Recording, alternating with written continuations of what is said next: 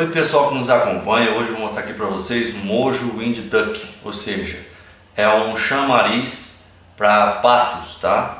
E ele é utilizado para atrair patos ou mesmo de enfeite, se você quiser. Ele tem movimento de asa, uma caixa relativamente grande. Aqui diz que tem um corpo de pato, duas asas, duas suportes de asa e três peças em metal, tá? Que deve ser onde ele fica fixado. Vamos ver aqui o que a gente tem.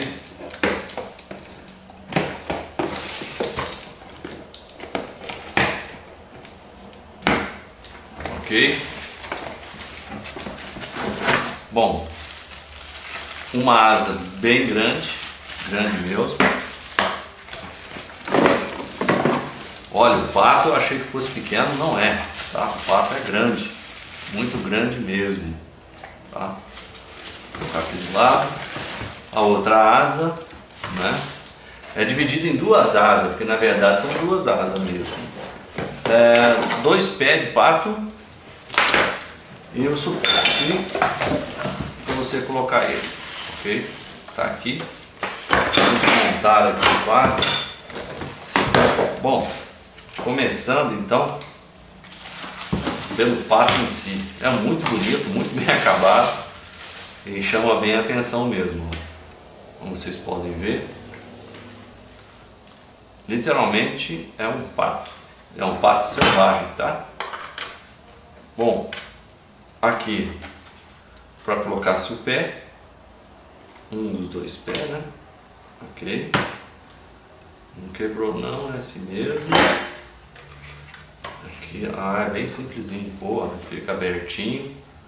Ele é feito assim mesmo, para ficar aberto. Vamos ver aqui agora a asa. Pelo que eu entendi, é mais ou menos assim. Vamos lá. Essa asa que tem de ficar para frente, isso aqui. Então vamos colocar aqui.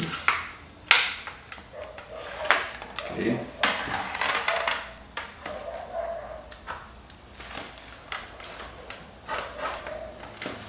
Olha só, essa é uma asa. Vamos instalar a outra asa.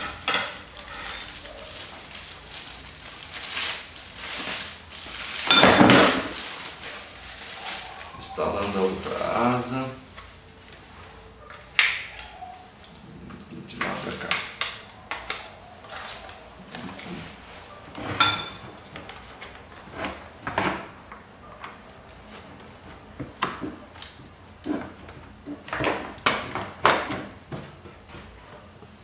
Só que vou ter que fazer uma forcinha aqui. Isso.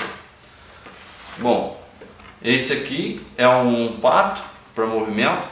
Ele simula que ele está fazendo o pouso, né? Que ele está vindo para pousar. Essas partes em metal é para você colocar ele estirado aqui assim, né? Você vai colocar ele em pé, fixado no chão, como se ele estivesse vindo para pouso. Vamos ver se gira apenas com a força da boca.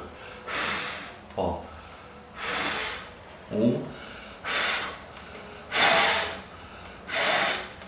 Então, com o mínimo de vento, ele vai bater asa. Ele vai ficar desta maneira, assim, tá? Ele é bem grande mesmo. Grande mesmo. Ok?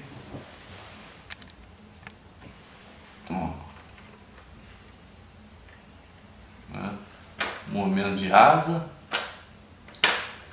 Ele faz esse movimento de pouso. Olha como é bonito. Bem feito, né? Bem realista. Hum. Bom pessoal, espero que tenham gostado. Muito obrigado. Até a próxima.